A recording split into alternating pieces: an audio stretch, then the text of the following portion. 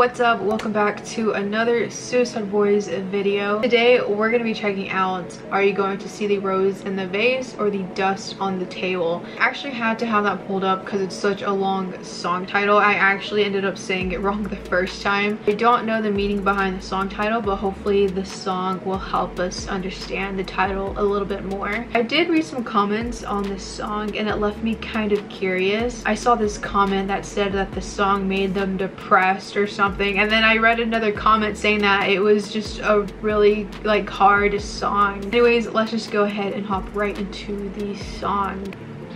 Remember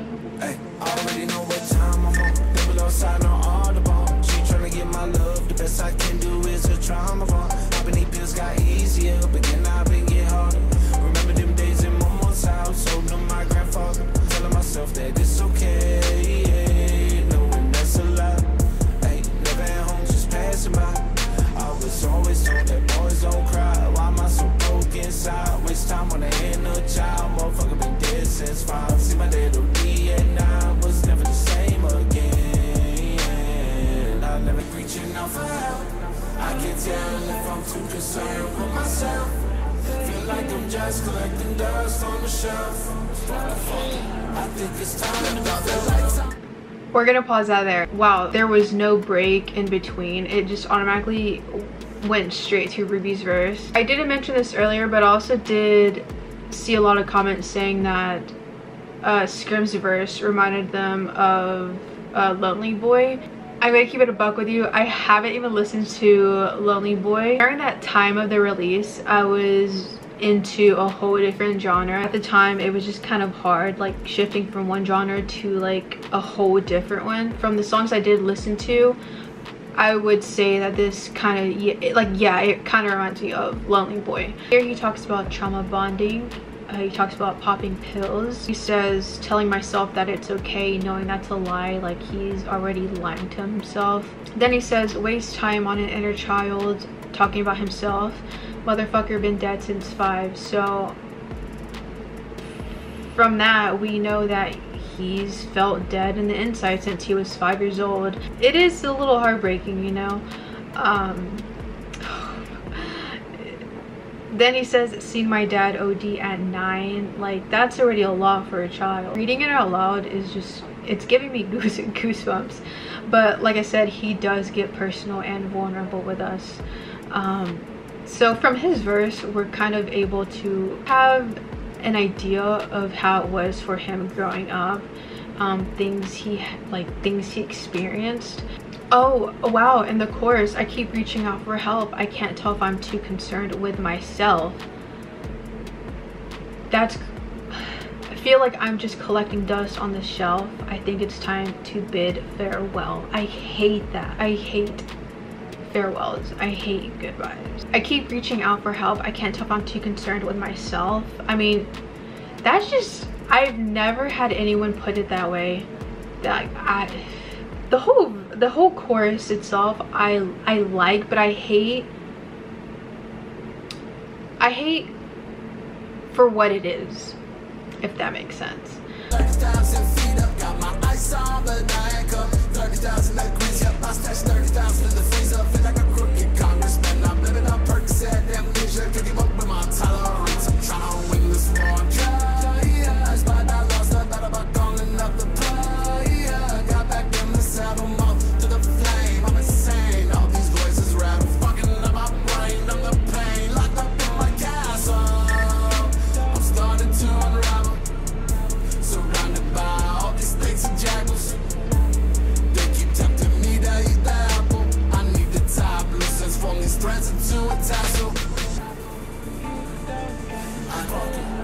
It's time to bid farewell.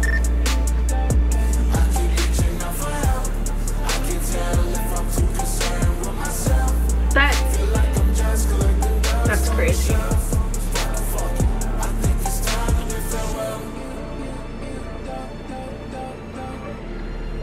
I, oh, man, I, Oop, I love that. It seems that Ruby is also talking about his struggles or just like all these obstacles. Um, like here he says i'm trying to win this war on drugs but i lost the battle by calling up the plug. Um kind of just him relapsing. He says fogging up my brain numb the pain locked up in my castle. Fogging up my brain just not being able to think clearly. Um i guess i don't know just from like is it from these drugs or just like these negative thoughts? Like what is it you know? Um, then he says numb the pain. So i'm assuming maybe just drugs. They keep tempting me to eat that apple. Like i don't know. Like i don't know what these people go through you know? Like i don't know. I like Ruby's verse. I feel like it, it's kind of taking me a bit to kind of break down his verse, you know? I feel like with Scrim, it's like, I'm just gonna tell you how I feel, you know? Um, and then Ruby is kind of like, like, kind of dancing around it. Um, so yeah, I don't know. I you get a lot from Scrim's verse, you get a lot from the chorus, and you know you get a you get a you get a bit from Ruby's verse. Personal as this song was, and just as deep as it was, I feel like I can kind of relate to feel like I'm just collecting dust on the shelf. Um, I don't know, I feel like I've just kind of been thinking a little bit that way.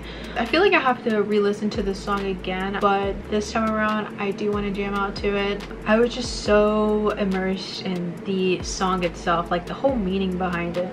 Anyways, let me know what you guys thought about this song. I would love to know. Also, let me know if you guys are going to Grey Day. My brain is kind of like, I don't know, like do I really need to go? And then the other half of my brain is like, wait, maybe you should go to have a good time but i don't know. I'm still thinking about it. Um, let me know if you guys are going to the atlanta show. I'm gonna go now and i will see you guys all in my next video. Bye guys